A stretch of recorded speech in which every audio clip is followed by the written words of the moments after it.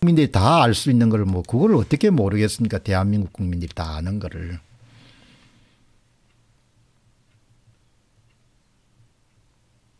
여당인 국민의힘 국회의원들이 이걸 모르겠습니까? 거기도 서울법대 출신들이 많지 않습니까?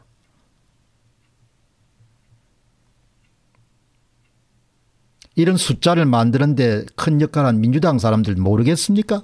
다 알죠. 왜 모르겠습니까? 선관위 직원들 이 모르겠습니까? 다 안돼 알겠죠 뭐. 이거 아무리 봐도 이상하지 않습니까? 어떻게 이러면 선거만 치르면 모든 곳에 다 승리를 하죠? 예? 민주당은 어떻게 이러면 선거만 치르면 모든 곳에 사전투표에 다 승리를 거두냐 이야기예요. 이걸 모르겠냐 이야기예요. 모를 수가 없을 것 같은데요. 예? 어떻게 모르겠습니까? 모를 리가 없죠. 어떻게 이런 게 나옵니까 5년 동안. 420군데에서 다 이런 사전투표에 민주당이 승리하는 확률이 어떻게 나옵니까 이게. 예? 이걸 모르겠습니까 예? 그레이스 초님 말씀 좀 다 알겠죠 뭐. 예? 박승민 그런데 왜 입 다물까요 그거야 뭐 본인에게 물어 안 봤으니까 뭐 알 수가 없는 거죠. 예, 그러나 뭐 다 이익이 되니까 입 다물지 않겠습니까? 예. 뭐 이까지 다 나온 거 아닙니까? 만들어진 사전투표수라는 것은 사전투표 득표율에 비례한다는 겁니다. 그런데 권성동은 사전투표 득표를 더 올려가지고 만들어진 사전투표수 더 올려주자는 거 아닙니까? 기가 찬 이야기인 거죠. 중앙대 법대를 나와서 그렇게 생각하는지 모르겠지만 김기현은 또 서울대 법대를 나왔는데 그냥 사전투표 득표를 더 올려야 된다는 이야기지 않습니까? 예. 이렇게 나라가 뭐 한마디로 엉망진창이 돼버린 거죠. 예. 양심 있는 사람들은 도저히 이런 불의하고 함께 살 수가 없을 정도로 그렇게 여러분들 된 거죠. 그래서 초님이 말씀을 참 잘하셨네요. 국회의원 노름, 대통령 노름, 보좌관 노름, 차에 의전에 그런 특권에만 관심이 있었습니다. 예. 대통령 노래하니까 얼마나 재밌겠습니까? 예. 다 그렇게 이제 흘러가는 거죠. 그러나 뭐또 어디선가는 또 진실을 이야기해야 되는 거죠. 음. 새백종님이 불의의 침묵은 공범입니다. 뭐 맞는 말이지 않습니까? 예. 불의의 침묵하면 공범이 되는 거죠. 자, 여러분들 지상욱 후보가 당락이 이제 바뀌어가지고 결국 억울하게 탈락한 중구 같은 경우도 한번 보시기 바랍니다. 중구는 예상보다는 그렇게 뭐 우리가 예상했던 것은 조금 높을 것이다 봤는데 평균에 딱 근접하네요. 6.2%. 예. 그렇지만 여기도 숫자가 엉망진창입니다. 6.9, 8.9 이런 숫자가 7.7, 13.2, 을지로동에 13.2까지 나왔네. 문재인 후보의 관내 사전투표 득표율 빼기 당일 투표 득표율. 관내 사전투표 득표율이 당일 투표보다 13.2%더 나왔습니다. 9.9, 10.3, 7.8, 12.6, 10.8 이런 수치는 나올 수가 없습니다.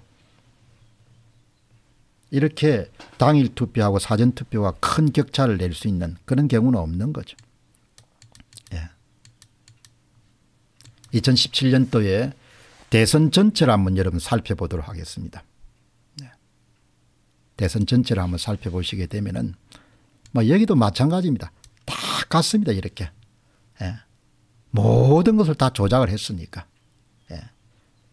문재인은 6.5, 강동구, 송파구 8, 6.8, 예. 강남구 8.2 좀 많이 했네요. 서초구 7.2 플러스 관악구 7.2 플러스 동작구 6.5 영등포 6.2 쫙 다 해가 이런 평균, 서울의 평균이 뭔가 하니까 6.8%가 나옵니다. 플러스 6.8.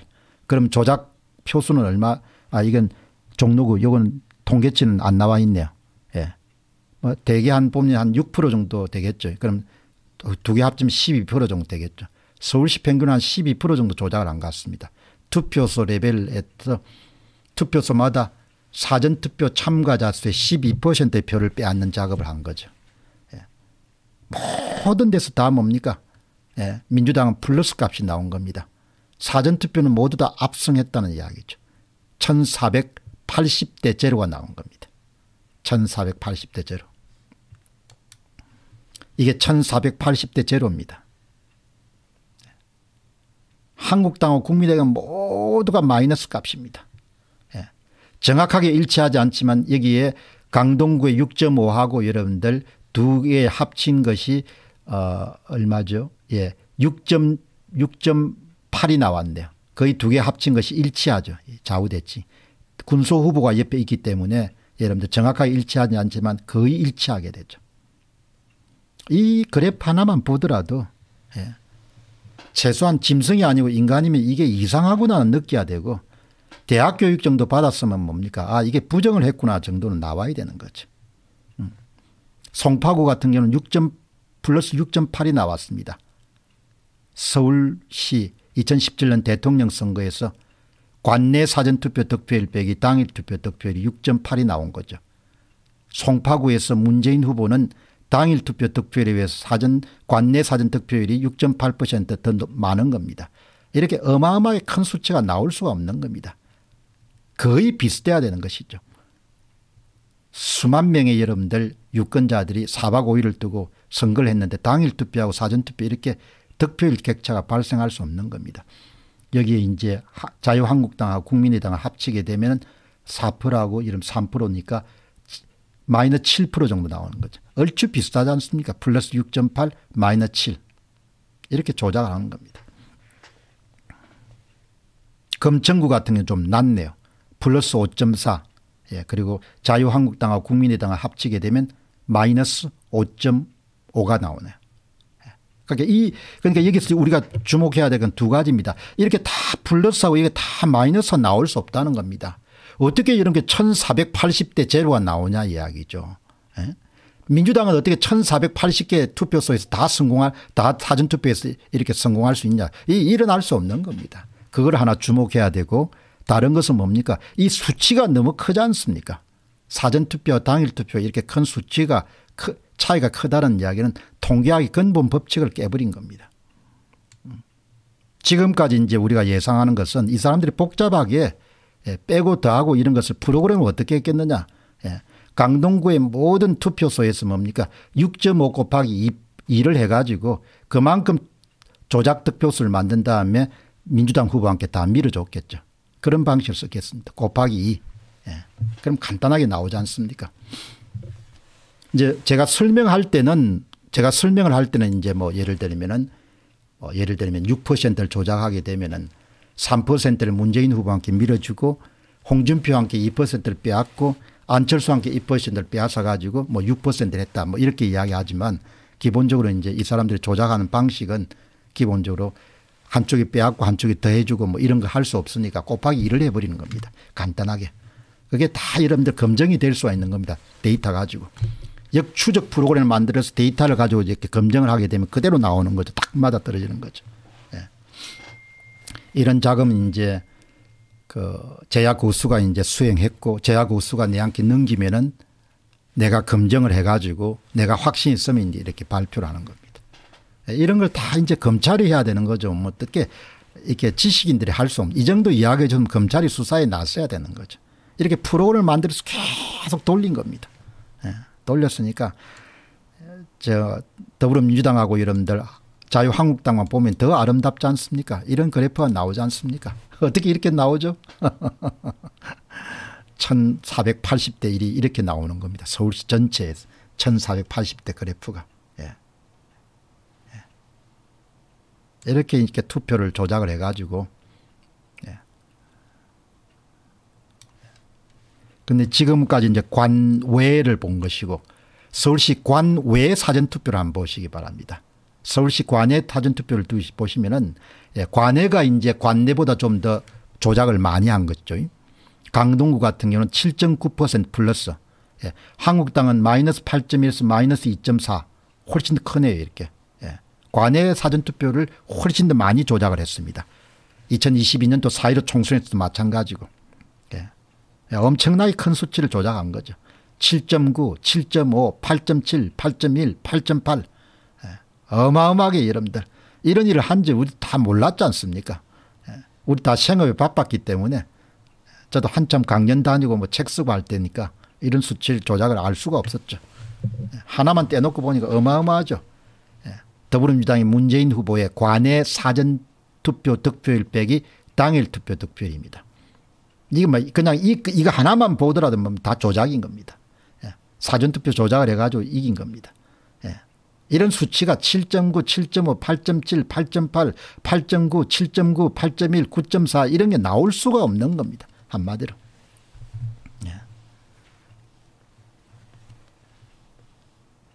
어마어마하게 이름들 조작을 한 거죠.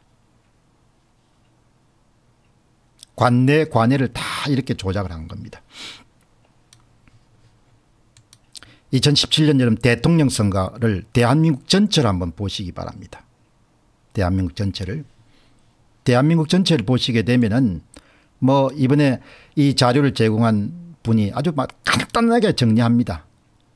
예, 관내 사전투표는 관내 사전투표 득표율 빼기 당일 투표 득표율이 전국 평균의 2017년 대통령 선거는 플러스 7.7 그리고 마이너스 5.6 마이너스 2.8이니까 마이너스 8.4 되는 겁니다. 두 개를 합치게 되면 사전투표 조작률이 되겠죠. 그죠? 예. 그 다음에 여러분들 관외 사전투표 보시기 바랍니다. 좀 심하죠. 8.7, 10.6, 2.1이니까 두 개를 합치게 되면 12.7이 되겠죠. 플러스 8.7 마이너스 12.7 마이너스 12.7 이렇게 나오는 거죠. 좀 더 은밀한 검증이 필요하겠습니다. 대략 이 수치를 가지고 그냥 계산을 해보면 은 2017년 대통령 선거 사전투표 투표자 수가 1100만입니다. 이번엔 1600만이었지 않습니까? 관내 사전투표율 기준으로 총 조작률은 16.1%고 관내 사전투표율 기준으로 총 조작률이 21.4%입니다. 대개 178만에서 236만 표 정도가 수가 추정되는 것이 이번에 얼마였습니까 326만 표로 추정되지 않습니까 그것은 그만큼 사전투표자 수가 많았지 않습니까 1600만 명. 그러니까 사전투표자 수가 얼마나 중요한지를 우리가 알 수 있는 겁니다. 2017년 대통령 선거에서 사전투표자가 1100만 명 밖에 안 됐습니다. 그 조작을 해도 170만에서 236만 표 정도 추정되는데 이번엔 1600만이 된 거 아닙니까 1600만이 됐으니까 20% 조작을 해가지고 326만 표를 우리가 추정하는 거죠. 이렇게 여러분들 어마어마하게 중요한 수치가 바로 여러분들 뭐로 나오는 거 하니까 바로 이렇게 수치로 나오는 겁니다.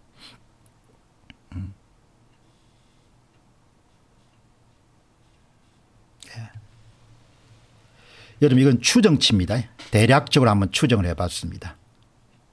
그러니까 이번에 대통령 선거가 1600만 명 정도가 대략적으로 사전 투표를 했기 때문에 20% 조작을 해가 326만 표가 나왔는데 사전 투표자 수가 늘어나면 늘어날수록 그만큼 수치가 커지는 겁니다. 2017년하고 2022년을 비교해 보시면 금세 알 수가 있지 않습니까 예. 이렇게 다 조작을 해가지고 예. 선거를 만들어낸 겁니다. 똑같은 뭡니까 조작 공식 조작 프로그램 조작 공장을 돌린 거죠. 예. 그러니까 뭐 이런 결과를 해가지고 선거를 훔치고 나니까 얼마나 뭡니까 자신감이 있겠습니까 그래서 이하치한 씨의 20년 뭐 장기 집권론 50년 장기 집권론 이런 게 나올 겁니다. 예. 그러니까 전국을 그림을 한번 그려봤습니다. 관내 사전투표. 예. 뭐다 이기는 겁니다. 한 곳도 예외. 여러분 예외적인 경우를 한번 보시기 바랍니다. 전라남도 전라북도 광주만 특별합니다. 나머지는 다 동일합니다. 좌우 대칭이. 전남만 3.1% 전북만 2.9% 플러스 광주만 플러스 2.1.9%입니다. 나머지는 다 뭡니까 예, 훨씬 더 수치가 큰 겁니다. 이게 관내 사전투표 득표율 빼기 당일 투표 득표율입니다. 당일 득표에 비해서 관내 사전 득표율이 얼마나 차이가 나는가 이런 차이가 나는 겁니다. 아주 특별하지 않습니까 전남 전북 광주만 수치가 예외적으로 작은 겁니다. 예. 여러분 비교해 보면 더 확실하게 나오죠. 전남 전북 광주만 여러분 이렇게 차이가 나는 겁니다. 전남 전북 광주는 민주당 텃밭이기 때문에 조작을 많이 할 필요가 없는 거죠. 예, 이게 그렇게 그대로 드러나는 겁니다. 그러나 조작을 한 겁니다. 조작을 했는데 사이로 총선하고 달리 조작을 했는데 대통령 선거는 단일 지역구이기 때문에 관내 사전투표 한번 보시기 바랍니다. 예, 이 관내 사전투표 득표율 빼기 당일 투표 득표율 여기서 그러니까 전남 전북 광주만 다릅니다. 전남 전북 광주만 다르고 모든 곳이 뭡니까 다 민주당하고 자유한국당은 비슷한 겁니다. 예. 그러니까 우리가 항상 비교 대상이 전남 전북 광주인 겁니다. 전남 전북 광주를 이번에도 조작했나 조작 안 했냐 3구 대선에 조작을 했고 좀 작게 4에서 6% 정도 사이로 총선에 조작할 필요가 없는 거죠. 텃밭이니까. 예. 그러나 2017년 대통령 선거에서는 작은 규모지만 조작을 한 겁니다. 이런 결과가 다 나오는 거죠. 음. 민주당 경우를 보면 더 확연히 나오죠. 예. 전남 전북만 4.1% 1.5% 3.4% 나오지 나머지는 다 5.6 9.3 13.6 4 10.9 10.5 13.1 6.8 5.1 7.2 8.5 예? 6.9 9.6 10.3 오차 범위 내에 들어가는 데는 거의 전남 전북 이게 광주 정도지 나머지는 다 뭡니까 더 많이 시도를 한 거죠. 예. 이렇게 여러분들 조작을 해가지고 예, 선거를 오늘 참 이 그래프를 제공했기 때문에 훨씬 더 직관적으로 고민 안 하고 예, 이렇게 우리가 이제 알 수 있게, 있게 된 거죠. 예. 그래서 이제 오늘 참 이 대통령 선거전에 대한 부분은 대부분 여러분 보시다시피 이렇게 예, 2017년 대선 사전투표자 수가 1100만 정도로 작았기 때문에 이번에는 1600만이었습니다. 그래서 표수가 326만 표를 조작한 것으로 이번에 추정되는데 이제 2017년 대통령 선거는 처음 하는 선거고 조작이고 본격적으로 예. 그전에도 뭐 조작이 좀 더 있었겠죠. 그러나 본격적으로 내놓고 이제 완전히 그냥 조작을 해야겠다고 본 것이 2017년 대통령 선거라고 보니까 그때는 이제 표수가 좀 작았습니다. 예. 작아가지고 이렇게 했고 지금까지 이제 뭐 알려진 바로는 뭐 예를 들면 이 사람들이 이제 어떻게 조작을 했겠냐라는 부분들은 앞으로 구체적인 것을 이제 다 밝혀 거의 다 밝혀진 상태이기 때문에 예 이제 우리가 설명한 것은 이쪽에서 빼고 이쪽에 더하고 이렇게 복잡하게 이야기했지만 뭐 의외로 그냥 이 사람들은 간단하게 한 것 같다. 이제 그 간단하게 한 방식이란 것이 뭐 다른 방식이 아니고 바로 이렇게 예, 만들어진 소위 조작 사전 득표수라는 것은 사전 투표 득표일 빼기 당일 투표율의 거의 두 배에 해당하는 것을 만들지 않았겠냐. 물론 이거는 지금 이제 추정이기 때문에 앞으로 조작 프로그램 조금 더 검증을 해봐야겠습니다만은 그 이게 결국 이렇게 만들어 가지고 이것을 본인이 얻은 것에 더해 주는 식으로 해 가지고 소위 조작된 사전 득표수 발표된 사전 득표수를 만들어냈다 이렇게 보는 거죠. 그러니까 프로그램이 아주 정확하고 간단합니다. 예. 그러니까 밀어줘야 될 후보의 표를 이만큼 더 만들어 가지고 그냥 본인이 받은 것에 더해 주는 겁니다. 예. 본인이 받은 거에. 그러니까 뭐 그냥 한 뭐 중학교나 고등학생 정도도 그냥 할 수 있는 프로그램을 사용한 겁니다. 예. 이렇게 표를 만드는 겁니다. 이렇게. 여러분 이렇게 이렇게 표를 만드는데 표를 좀 더 많이 만들려면 어떻게 해야 됩니까? 사전투표 득표를 올리면 표가 더 많이 만들어지는 겁니다. 당일 투표 득표율이 올라가면 어떻습니까? 마이너스 값이 때문에 만들어진 표수가 줄어들 수밖에 없습니다. 이 반비례 정비례 반비례를 권성동은 전혀 이해를 못하는 겁니다. 아, 이해를 안 하려고 하는 겁니다. 김기현도 이해를 안 하려고 하는 겁니다. 그래서 당일 투표 이제 사전투표 등료가 동력 운동이 벌어지는 겁니다. 이렇게 이름한 겁니다. 여러분 간단하지 않습니까? 조작 사전 득표수는 사전 투표 득표율 빼기 당일 투표 득표율 곱하기 2하고 거의 같다 이야기죠. 그럼 사전 투표 득표율이 높아지면 당연히 조작된 사전 득표수는 높아지 커질 수밖에 없는 거죠. 그러니까 이게 조작을 안 하고 좀 위험을 줄이려면 어떻든 국민들이 당일 투표를 더 많이 해야 조작된 사전 득표수를 줄일 수 있는 겁니다. 이걸 안 하겠다고 하니까 에? 권성동이가 이걸 안 하겠다고 사전투표 득표를 많이 하자 막 고함 치는 거지 않습니까? 이 기막힌 일을 내가 어떻게 해야겠습니까? 이제 나도 웃고 그냥 예 그냥 뭐 허허하고 지내야겠죠. 음. 이렇게 이런 만든 겁니다. 이렇게 만들어 가지고 선거를 참 훔친 거죠.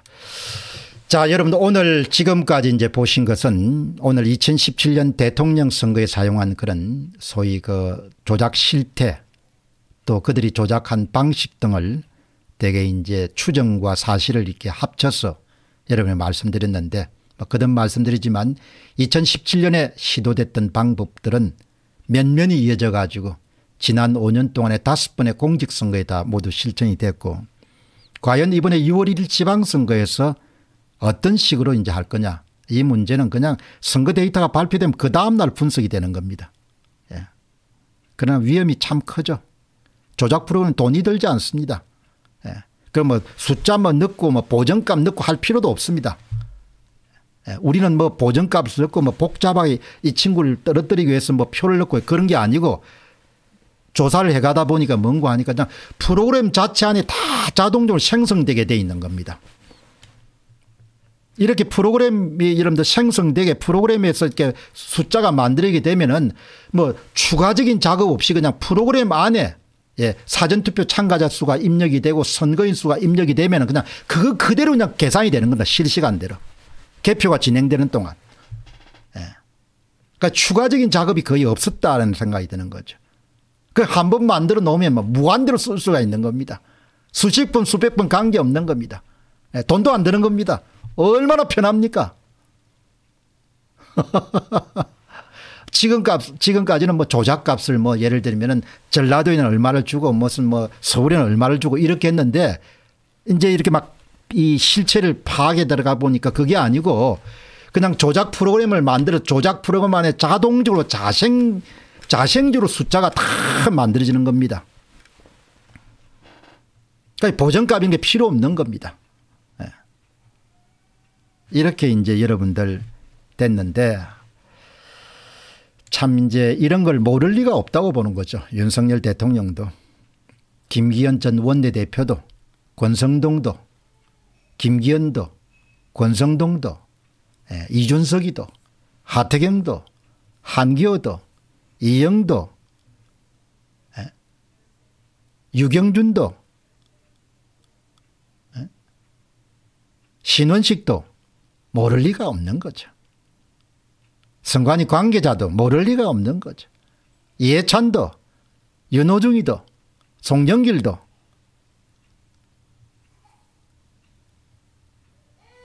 모를 리가 전혀 없는 것. 다 아는 겁니다. 예. 다 알기 때문에 예. 이제 뭐 다 아는 사람들한테 뭐 이렇게 이야기하는 거는 그 사람들이 의지가 없으면은 밝힐 수가 없는 거죠. 국민들이 이제 어떻게 이 문제를 받아들이냐. 이 문제가 이제 핵심인 겁니다. 그런